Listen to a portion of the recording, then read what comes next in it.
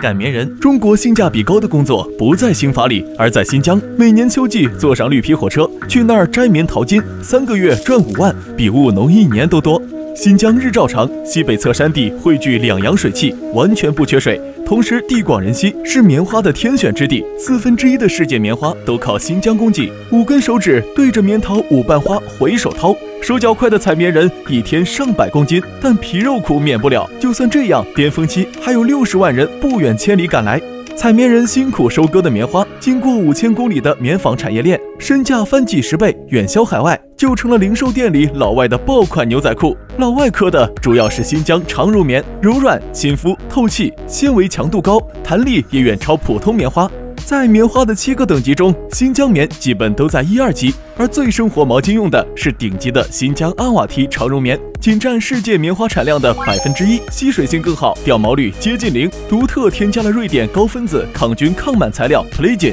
用久了也不变硬，不用去新疆就能体验到天然棉花敷脸的柔软。采棉这种好事儿已经随着农业升级渐渐消失，但南疆还有大量招工需求，你打算上车吗？